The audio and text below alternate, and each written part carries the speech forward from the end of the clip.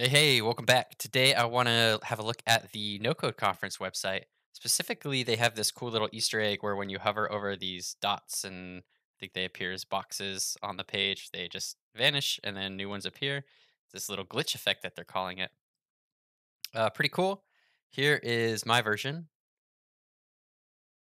Just hovering and they disappear and then they come back. And as you scroll, uh, it'll appear on the page within the viewport. So show you the major keys to success to make this animation happen. It's going to be mostly in JavaScript today. As a reminder, I will drop all the code for this in my Ultimate Resource Library. I'll put a link to that in the description below. So if you want to just uh, copy paste your way to the key to success, then you can get it there. And there's a bunch of other really useful stuff in here that I've used in other tutorials and that I just use in all my Webflow builds. Uh, all right, here's a quick look at the project that I set up. The main thing to look at is I have this dot class. Uh, I put it in this wrapper of persist class with hi just so it doesn't show up on the actual page. But this is so that if I clean up the styles that the dot class will persist. Main things to know, it's got a width and a height of 16 pixels. Position absolute, I set to the top left. We'll get to, we'll style this per dot as we go. I put a z index of five so that it shows up on top of other things. Gives it that nice little glitchy uh, effect. And then I set the color to red here, but we'll set that later. And then transitions, I set a time of 500 milliseconds to the transform property. The other thing I've got going on in the home settings here, I'm loading a script from Code Sandbox that is located right here. And let's go ahead and get rid of all of this. All right, so I'm in Code Sandbox here. The first thing I'm going to do is define a bunch of constants that I want to use throughout the project. I've got just an array of strings. These are all hex values for colors. These are the different colors that are going to randomly be chosen for each dot or circle. And then I've got the size set to 16. This matches the size that I set in the Webflow project for the class of dot here, 16 pixels. And then animation transition time, which matches the transition time down here. Uh, keep going here. We're going to get a reference to the page by the class name page wrapper. It's class name with the dot here. Uh, this is where we're going to append the dot. So the dot is not going to be in this persist class. It's going to end up right here, and we'll we'll be able to see it. This is a helper function that gives us a random integer between this min number and the max. The min is inclusive, which means um, it will include that number, and the max is exclusive, which means it will not. I just grabbed this from the JavaScript uh, math.random here. If I clear this, and we come down here, get a random number between two values. We want a random integer between two values. Normally, math.random gives a value between 0 and 1 with decimal points, but we want an integer. So I'll define that function. And if I call get random int of, let's say, between 1 and 5, First one gives us four, then we get one, four, three, four. So we're noticing that we get anything between one and five without getting five. So that works, and we're happy with that. Keep going here. I'm going to define a function called create dot. Right now it's empty, but I'm going to define that function and I'm going to call it twice on page load. So create dot will be called twice whenever we refresh the page. First thing I'm going to do, I'm going to define some more variables that I want to use while I'm creating the dot. Is circle is just a 50-50 percent chance of whether or not it's a circle. So I'm calling get random int between 1 and 3. So I expect this to return 1 or 2. And then I'm saying, hey, if this equals 1, return true by setting this equal statement here. But if it equals 2, then it's going to return false. So just giving myself a chance to be a circle or not. Now I've got another variable called color index. This is gets a random integer between 0 and the length of this array here to access the color that we want to use. I've got scroll top. This is um, getting the top of the position on scroll. I have a diagram for this. I have um, some other values I'm going to get to make sure that the dot is being displayed in the, the viewport that the viewer is on. Here's the uh, the visualizer that I have for that. So scroll top, we can see that's anywhere here. That's just going to show the um, the top of the user's window, and then we have client height. That's the top from from scroll top to here. And then I think I also had client width. That's the width of the page here. So we're trying to position this little glitch dot somewhere in the view area. Uh, let's see. It always helps to also put these in the console themselves. So if I say scroll top, right now 1925, uh, 2583 as I scroll down. And then if I come back to the top, scroll top gives me zero. Now let's say I want to get the client height. This one returns 1001, 1001. No matter where I am in scroll, returns 1001. All right. We're going to do a little bit of math. So dot width as a percent, I want to set the X position as a percent because I want to be able to resize the window and still keep the dot on screen.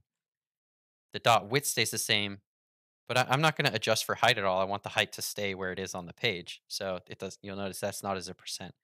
So I'm setting the width as a as a percent of the page width, and I'm setting the height just as a distance from the top, really. So if I come now back to the code, I want to get the dot width as a percent. So I take the size, which is 16, divide that by the full width of the screen, and then multiply that by 100. And then for Y position, I want to get random int between scroll top and scroll top plus client height minus size. So for the Y position, we come back to the Excalidraw, we want to say the minimum for our, ra our random integer is the scroll top value, which would put the Y position here. And the maximum would be scroll top plus the client height. So the maximum was set it there, and then we subtract the size of the element itself to put it there. So now we know that the height can be anywhere between these two values, which is great. Now let's get the calculate the y position. The y position will be a random integer between 0 and 100% minus the dot width as a percent. So we're just calculating the dot width as a percent of the width of the viewport. So we take size, which in this case would be 16, client width, which would be, let's see what I have right now is client width. 998 or 988, sorry. So if we said 16 divided by 988 gives us about 1.6% times 100, 1.6. Okay. And now we're going to create the actual dot element. And it's just going to be a div. We want to add the class of dot to that div. And that is going to add all these styles that we already predefined. And then we're going to customize that to, to display it in the right place. So first we're going to set the transform to scale of zero. This is going to make shrink the dot to be nothing. We're going to set the background color to one of random colors that we're going to pick from this array. We're going to set the left value to an X position with a percent. This is backtick syntax. Anything within the dollar sign curly braces here gets interpreted as a variable. So let's say the X position was 50%, or this, this would return the number 50. So 50 will get returned, and then this, the percent sign will be added here. And we can see if we adjust the dot here, anywhere from 100%, you know, or whatever, 100 minus the, the dot width as a percent, we're affecting the width there. And then we're going to set the top uh, property to the Y position in pixels. And so that would be here, let's say 10 pixels. And that's how we're going to display the, the dot on page where we want it to display. Put this back to zero. Okay. And now we have that 50-50% chance for this is circle variable to be true or not. If it is true, then we're just going to set the border radius to 100 VW to turn it into a circle. All right, and now we want to append the dot. So I'm going to save, and if I refresh here, we don't see anything because we set the scale to zero. Let's set the scale to one. Refresh, and now we're getting dots. We have these two dots right here. Set that back to zero. Nothing happens because we don't have an event listener um, on what happens when we hover. So after I append the dot, if I set the transform to 1, then we're hoping we would see it. If I save and refresh, we're getting we're getting the dots, but they're not animating in. To animate them in, we want to wrap this in a set timeout. This is just a, a function right here. And then we set the time, and we're just giving it 0 because we want it to happen after all this other stuff is done due to the JavaScript event loop. So if I save that, and now I come back to the site, and refresh, we see them animate in. I'll refresh again. It's pretty fast because it's 500 milliseconds, but yeah, we're getting that animation that we want. Okay, now the next thing to do is just to add that mouse over effect so that they go away when we hover and create new dots. So I'm going to add an event listener. It takes a parameter for the event name, which is mouse over, and then an empty function that I'm defining here. And we just want to remove the dot. So if I save that, this dot remove removes it from the, the DOM entirely. If I refresh and now I hover, it goes away. It goes away. And I'm not creating any new ones yet. If I open up the inspector and I turn on the elements here, let me see, and I select that, you can see it's just removing it from the from the DOM itself. So pretty cool. Let's keep moving. Now I want to scale that to zero. I want it to shrink. I want to animate it right before I actually remove it from the DOM. If I set the scale to zero though, and then call this right after, it's going to happen instantaneously. So I save and I refresh. We're still not going to get the animation that we want to see. It's just going right away. So let's wrap that in a set timeout as well. And this time, for the amount of time, we're going to set that to our animation transition time constant, which we specified up here.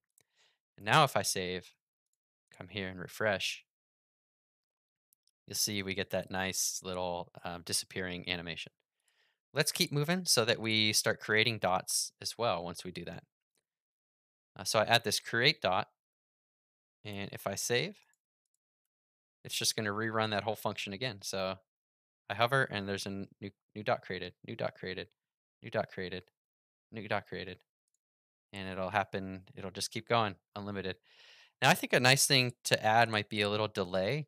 Rather than creating the glitch right away is like the user gets rid of it and then scrolls and then oh, something appears.